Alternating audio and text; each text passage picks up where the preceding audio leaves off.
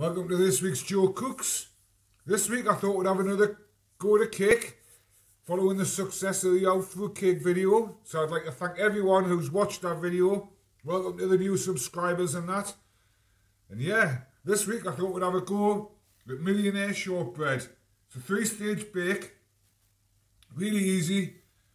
Seven ingredients. Takes a little bit of time, but it's worth it. It's worth it. It doubles up as a good present for Christmas if, you, if you're a bit skint like me and that. Chop it up, put it in little gift boxes and that. Perfect, perfect. Nothing says Christmas like a homemade present. You don't need to be spending a fortune in these supermarkets and that. So yeah, we'll have a quick run through the ingredients. We'll get set up properly and we'll start cracking on. Right, I've got the ingredients laid out in front of us. We'll go through them stage by stage. Really easy, really easy. So for the shortbread, we'll be using 250 grams of plain flour, which I'll be sieving into a big bowl. 175 grams of low-fat spread. You can use butter, use whatever you want as long as it's suitable for baking. 75 grams of caster sugar. This is just normal table sugar that I've blasted in a little blender. Just saves us a bit of money from buying caster sugar, because that's all it is really. For the caramel sauce, or the toffee filling, 100 grams of brown sugar. That's soft dark brown sugar. 100 grams of the low fat spread again. A tin of condensed milk. I think these are about 400 grams. 397 grams, that's fine. All like about the standard size, I think. For the chocolate top, just a couple of bags of chocolate chips or a couple of bars of chocolate, whatever you whatever you can get your hands on. Be listed in the description as normal and that. We'll start with the shortbread. What we want to do is preheat your oven to 180 degrees. Get that on now while we're making the shortbread and it'll be hot for when the shortbread's ready to go in. We're just going to prepare a tin. This is a 20 centimetre baking tin with high sides. High sided one's good. You can use any you want, but it's got to be deep. Got to be deep. And I'm just, I've lined the bottom with parchment paper. And I'm just going to give the sides a nice little spray of Frylight. This just helps it come out easier at the other end. I haven't made this for years, you know, years and years, so the potential for this one going wrong is high. So I'm just going to set that one aside, and I'm going to bring in my bowl. And basically, we're just going to pile all the ingredients into the bowl. We're going to sieve in with flour.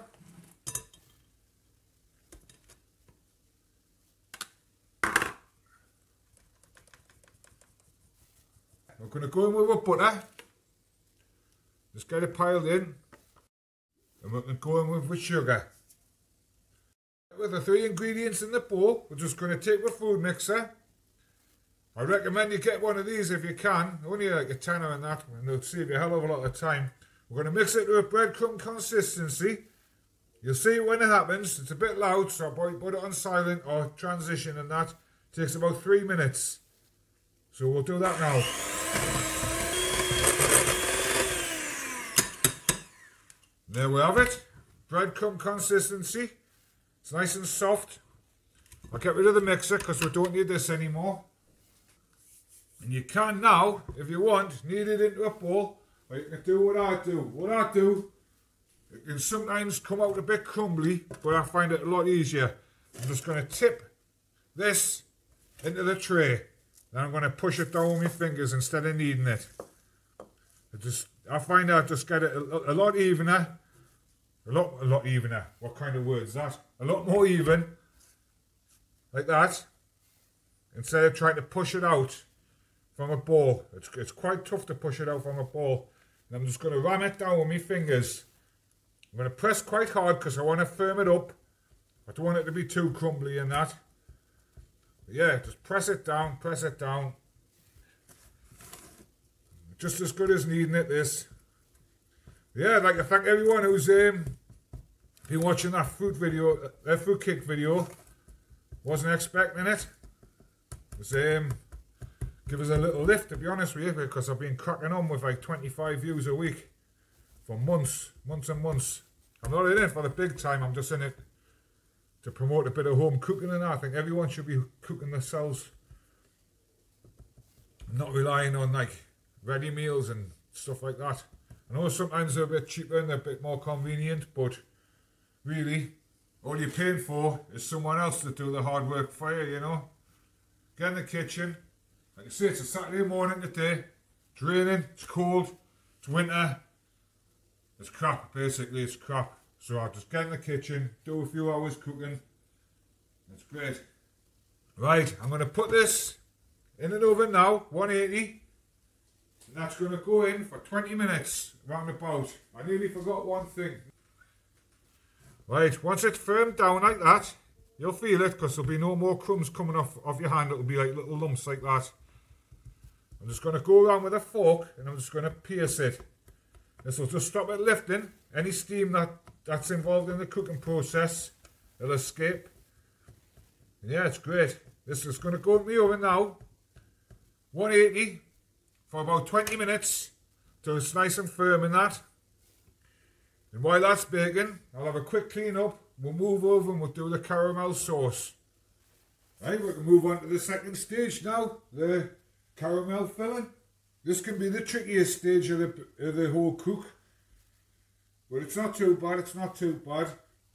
With shortbread's in the oven now, it's got about five minutes to go. And while that's happening, what we're going to do in a saucepan, we're just going to put with three ingredients. For this, I'll be using a pan and I'll be using a wooden spoon. Wooden spoon works great. So we'll put the sugar in. We'll put the margarine in, or the soft spread, whatever, whatever you're using. We'll put in the tin of condensed milk. And the key here is just to let it melt nice and gentle, nice and gentle. So while this is happening, we can take the shortbread out the oven and we can put it somewhere to cool and that. I'm trying to get as much of this out as I can. Waste not, want not. That'll do for me. Yeah, we'll give it a good stir in. We'll just let it melt gently. It's all in the it's all in the boiling action, this caramel fudge malarkey and that. Really, I should have a, um, a sugar thermometer or a jam thermometer. But because we're not making fudge or toffee or anything, we should get away with it. We should get away with it. Like I say, I haven't made this for years and years, so um, the potential for it going wrong is up there, is up there. But if I can do it, you can do it. That's the whole thing. Don't be put off just because it looks a bit complicated and that. Just have a go, man. Have a go. I love it. I love it. Right. We'll let this warm through gently. Like I say, I've got it on number two. So it's just going to jot. It's just going to melt nice. And once everything's combined, we'll whack up the heat. And we'll do the tricky bit. But in the meantime, we'll take the shortbread out. We'll put it somewhere nice and cool to, to, to cool down. Oh, look at this. Look at that. Look at that. That's beautiful, that. Beautiful. It's nice and firm. It's a bit springy because it's still hot. But what I'm going to do, I'm going to put this by an open window. Just going to open the window a crack. And I'll just let it cool itself down. While we'll make the caramel sauce. You can turn your oven off now. We don't need the oven anymore. That's finished with. This is starting to combine nicely. So what I'm going to do, I'm going to gently turn up the heat. I'm on number two now. I'm going to go up to number four. Then I'm going to start bringing it to a boil. We're going to hold it at a boil for about a minute or two. Then we're going to put it on top of a shortbread. So, again, I'll probably transition this because you don't really want to be seeing um, syrup warm up. Not the most exciting thing in the world to watch. So yeah, see you in a couple of minutes. Right, this caramel's just starting to boil now. You can see it's starting to bubble. This is the important bit. We've got to keep it moving now. Keep it moving. Don't let it burn. You can peel it away from the sides like that. But we're going to let it boil. We're going to let it boil for about two minutes. Then we're going to take it off the heat. It's mad this millionaire shortbread because do you not think it looks like a Twix? I think it does like. I think either a Twix there's a posh millionaire shortbread or millionaire shortbread's a posh Twix. Either way, they're both the same thing, I think. Like This is coming up nicely. What I'll do is I'll bring in my shortbread again. our base. That's done nice. That's firmed up the treat now. That's firmed up the treat. We'll just keep this, just keep this moving. But yeah, tell us in the comments if you um, what you want us to what you want us to have a go at. I'll have a go at absolutely anything, you know, anything. And sometimes it's pretty tricky coming up with ideas because I eat pretty boring, to be honest with you. Like, I'm, I'm, I'm usually really healthy eating, but I do like a cake. Everyone likes a cake. Who doesn't like a cake? You know what I mean? Statistics don't lie. I've done a healthy meal. I've got about 20 views. I've done a cake. Got 300 views. There you go. You know what I mean? Anyway, at this stage, we're going to lift it off the heat. And we're going to pour it into a, a tray. Really simple. Really simple. And this is where the patience begins. So we'll just pour this in. Oh, look at that. Look at that. Beautiful, man. Beautiful. Don't need to go to the shop and buy one. Make it yourself. Make it yourself. Satisfaction from making that is immense. But we'll just let it pour out. This will be very hot. So don't be sticking your fingers and that in it. But we'll just roll it out. It'll find its own level. Look at that. Look at that. Beautiful. Beautiful. And what we're going to do this is where the patience comes in. I'm Going to let this set off at room temperature for a couple of hours. Then we might firm it up in the fridge, but don't put anything hot in the fridge. Don't be tempted to put this in the fridge because it will wreck your fridge. It might be an old wives' tale that I've heard that, but I don't know. So just don't bother. I don't want to be responsible for broken fridges. But yeah, we'll let this cool down. I'm going to leave it basically all day to cool down. I'm going to go out and do me things and that, come back. And yeah, we'll put the chocolate on. We'll finish this one up. Right, it's been about four hours for me. About 20 seconds for use. Let's have a look what we've got. Look at this. Check this out. What a beauty. Right, the fudge or the toffee centre is set nicely. Still a little bit tacky, but that's fine. That's fine. I left it out at room temperature for about three hours and I chilled it in the fridge for the last hour. What we're going to do, I'm just going to roll my sleeves up a little bit. I'm going to just run a fork across the top of the fudge a bit. Doesn't have to be neat, just anywhere, just so the chocolate's got something to grip a hold of. Then it won't separate. But yeah, I've been doing my um, my second hobby, looking around the charity shops. I love going around the charity shops, you know. My flat's built on stuff from charity shops. Got quite lucky. Can anyone remember Dusty Bin? I got a Dusty Bin. I think I got it from um, the Butterfly Hospice shop. It was only a couple of quid. I couldn't resist it. So, yeah, that'll go on my sideboard. Bit of useless task. Anyway, we'll move over. We'll start the chocolate. And we'll, we'll crack on. Right, for the chocolate, what we want to do is get a pan on the boil. I've boiled this up once. And we're going to put, it's about half full of water. It's, we're just boiling. And we're going to put a bowl in. I'm doing this, melting this chocolate old school style, the Tunis style, I know really, to honest. But we're going to just tip with chocolate chips in. They won't take long to melt. We want to do it quite slowly. So I'll probably turn it down a little bit, stop it raging, because it will push the ball off. We'll go in with the second bag. And it's just a case of letting it melt. So we'll just keep stirring it until um, it's done. Just keep tilting it every now and again, let the pressure out. Just slowly melt the chocolate. Again, I'll speed this up And um, we'll see it as we're pouring the chocolate onto the cake. Very steamy today, very steamy. Whoa.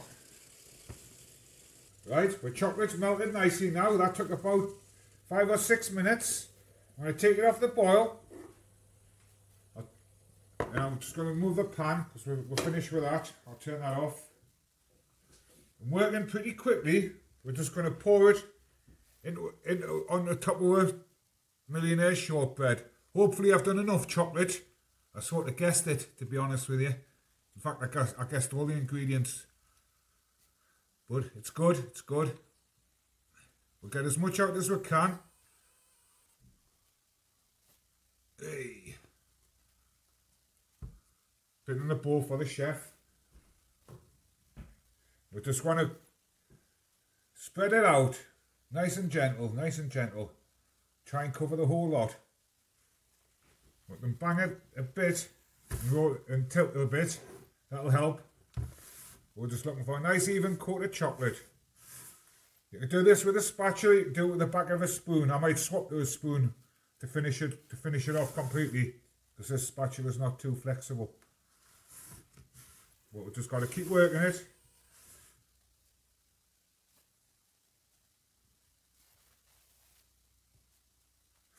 Like I say, I'm not a chef, so um, it looks a bit tacky then, fine. But it's got a homemade feel about it, so it's alright. It's alright. No one's going to come round here and tell us off for putting a shoddy chocolate coating on me millionaire shortbread. I'm waffling now just to um, fill in some time. Right. That'll do us for that. Look at that. Wait, you know what's happening with that later, don't you? I'm just going to get a, a spoon and I'm just going to smooth it off a bit better. Just make it a bit neater, bit neater. And what I'm going to do with this now, I'm going to let it set again, room temperature for about an hour, maybe a bit longer. Then I'm going to put it in the fridge for half an hour. If you put it straight in the fridge now, the chocolate will set, but it's got more chance of cracking in that. So just let it calm down slowly. We'll come back in an hour or so. We'll get it out. We'll have a look what we've made and we'll bring this one in. Right? It's been about an hour and 10, hour and 15 minutes. Let's have a look at this. Oh, look at that beauty. Look at that. Well, I'd like to thank you all for watching, you know. And um, welcome to the new subscribers. I think there's seven of you. Seven new ones. 20 in total. So, welcome to you all. What I'm going to do now is run a knife just around the edge, just to free, just to free it up a little bit.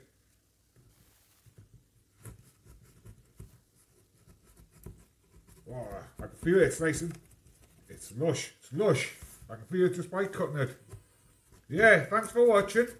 Hope you enjoyed it. Tell us in the comments what you like to make and that. I'll give us some suggestions. Um, see, this makes the perfect present. If, you, if you're a bit skint in that, just give it a go. Or cook anything you want. Cook anything you want. Just get in your kitchen and have a have a try. Have a try. It's You'll surprise yourself because it's not as complicated as it as they make it out to be. But right, what we're going to do now, I'm just going to use a can and I'm going to put it in the middle and hopefully this will come out in one. Ready? Here we go, here we go. Moment of truth, moment of truth. Don't want it to fall. But look at that. Look at that. What a beauty. What a beauty. I hope you can see that on camera properly. We'll get it down. We'll, we'll cut it up. Right, let's get this bad boy cut open. I've aimed to get 18, but my cutting isn't perfect, so we'll give it a go. We'll give it a go. I'm only going to cut one or two pieces out just for the demonstration, but look at that. Look at that. Absolutely beautiful. If I go there, maybe. Yeah, we might not get 18. We'll count them at the end. We'll count them at the end. Right. And we'll go down here again. 16. That's what we're going to get. 16. Relatively even. Have to be perfect, you know. But look at this. Can't wait to get stuck into this, you know. We're down the middle again. Hey, it's cutting up a treat. So yeah, thanks for watching. Hit the like button, hit subscribe. Fill in your comments and that, do the YouTubey stuff. Get inspired, get in your kitchens. See what you come up with. And um, yeah, brilliant, brilliant. Look at that. Look at that. Let's just chop it. The toffee's still a bit thingy. Look at that. Perfectly cooked base. Nice layer of toffee. Nice layer of chocolate. Absolutely fantastic. We'll get a couple out. Just have a look. And yeah. Thanks for watching. I'll see you next week. And I'm going to have a little taste. Little taste. Just to see what it's like. Look at that. Look at that. Soft fudge. Crumbly biscuit. Crispy chocolate. What more do you want? It's not nice. I can barely talk. So right. Be kind. Stay safe. I'll see you on next week's video. Thank you very much.